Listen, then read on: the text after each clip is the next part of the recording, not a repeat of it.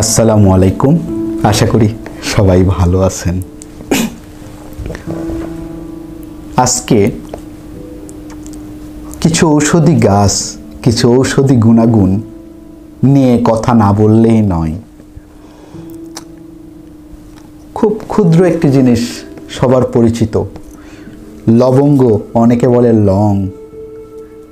চেনা যায়? এই লং লবঙ্গ।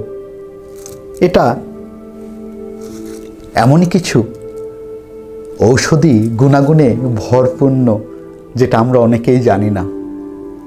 একটি কথা আছে, যে পুরুষ খাবে লং, তার লিঙ্গের বারে ঢং। এখন আমরা লং খাই না, খাই আরও অনেক কিছু। তো আমাকে অনেকেই বলে সোয়ান ভাই জীবনে তো বহুত গাছ খাইলাম, কাম তো বুঝি না। এরকম অনেক ব্যক্তি আছে। আল্লাহর সৃষ্টি কি কখনো মিথ্যা হতে পারে? কখনো না। একটা মানুষের সৃষ্টি, একটা মানব সন্তান একটা কিছু সৃষ্টি করছে, সেটা ভুল হতেই পারে। সেটা কার্যকারিতা নাও হতে পারে। কিন্তু আল্লাহর সৃষ্টি আল্লাহ যেই গাছকে, যেই কাজের জন্য পৃথিবীতে সৃষ্টি করেছে, সেই কাজ কি পৃথিবীর কোনো শক্তি আছে মিথ্যা করতে পারে? সম্ভব না। তো এটা আল্লাহর সৃষ্টি এই গাছটা কেন অনেকের ক্ষেত্রে কাজ হয় না?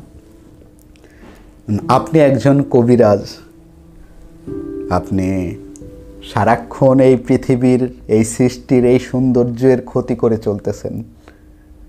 আপনি এমন কিছু কার্য করতেছেন যেগুলা এই সৃষ্টি নষ্ট হয়ে যাচ্ছে।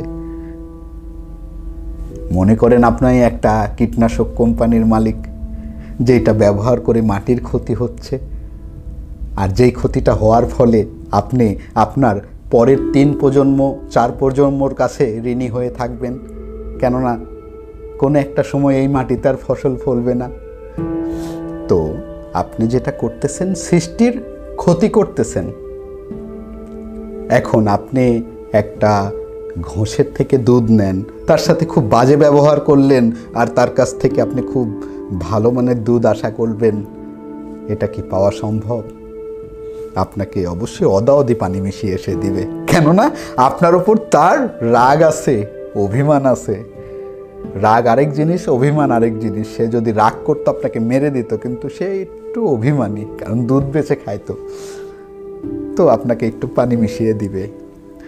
তো আপনি একজন ঘোষের সাথে খারাপ ব্যবহার করে তার কাছ থেকে ভালো মানের দুধ আশা করবেন না। আর এই সৃষ্টি, এই প্রকৃতির ধ্বংস করে, ক্ষতি করে আপনি যদি ওই হাত দিয়ে একটা গাছ তুলে কোনো রোগের জন্য কাউকে দেন, সেটা অতটা ভালো কাজে দিবে না।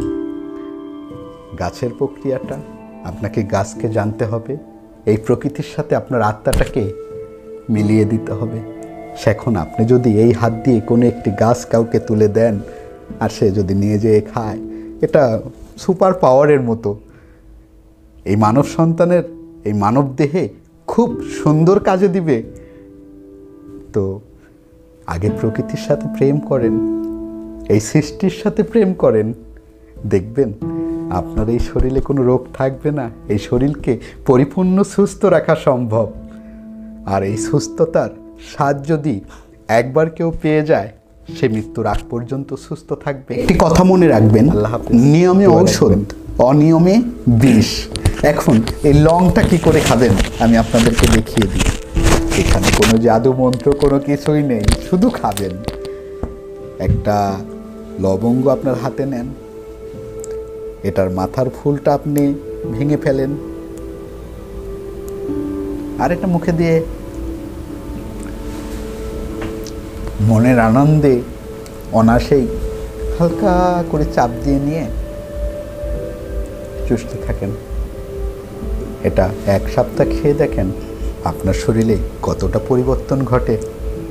এই আল্লাহর সৃষ্টি গাছের মধ্যে কতটা গুণ ক্ষমতা আছে। এটা আপনি উপলব্ধি করতে পারবেন। সবাই ভালো থাকবেন। দোয়া রাখবেন।